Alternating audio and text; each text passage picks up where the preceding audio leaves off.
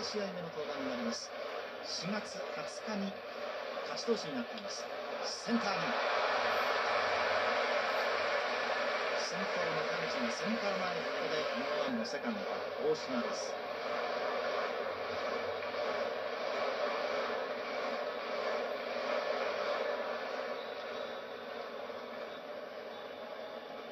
三塁の一勝です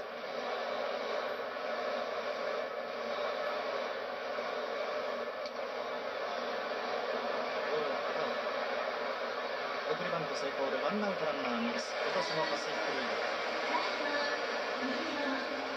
1回いきなりこの人にチャンスが回ってきました。イチローです。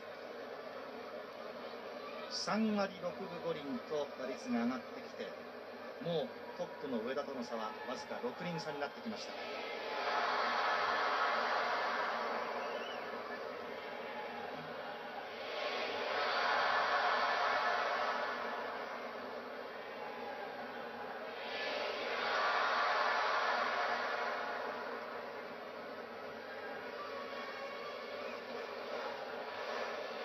ワンアウトのセンターの左入れ追いついたランナーがどうかで戻ります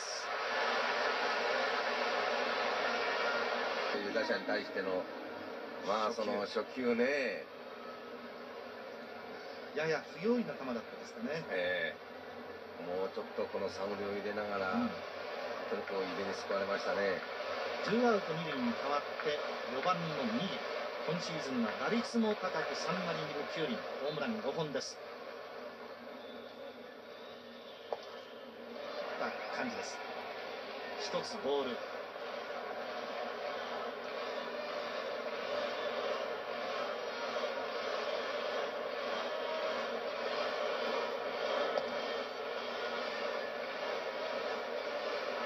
回の表のオリックス。オリックスは現在3連敗中。昨日から9連戦が始まっています。オリックスにとっては前半の非常に厳しいところに来ています。セカンドです。金子。スリーアウト。結局田口は2しまうという大混戦になっているんです。いやそうですね、まあ、これあの、一番象徴しているのはね、このハムがですよ、この10敗一番乗りで、しかもその10勝一番乗り、そうですね。こんなのはもう本当に珍しいことでね、珍しいですね。まあこれが一番この象徴してると思うんですね。うん。だから、やはりこの連勝連敗というものがものすごくこう多い各チームがね、そね。えそれだけ何かこう継続的な力強さを持っているチームがいない。えうんあの持続力といいますか、それともう一つは地地道な戦いといいますかね、まあ、そういうものがないような気がするんですね。現在はこの上田監督率いる日本ハムファイターズの方が11勝12敗1つ借金があります。オリックスの方も10勝11敗1つの借金。順位は日本ハム4位のオリックス5位です。1番田中から。オリックスの先発は平井です。初球打ちはセカンド。大島。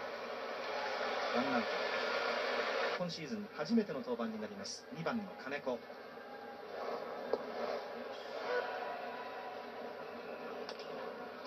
三塁です。ドネルス。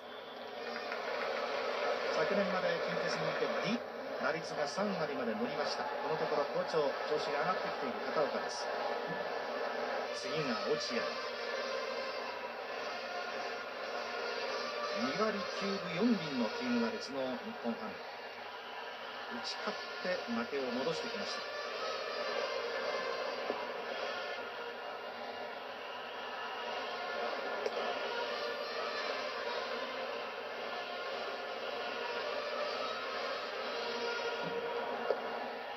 もう力むこともなく、まあ、どちらかといったらこのセーブしながら投げてると言いますかね、まあ、その変化球のコントロールが非常に良くなりましたね、この球の勢いで取っていたり、まあ、そういうピッチャーから全く変わりましたからね。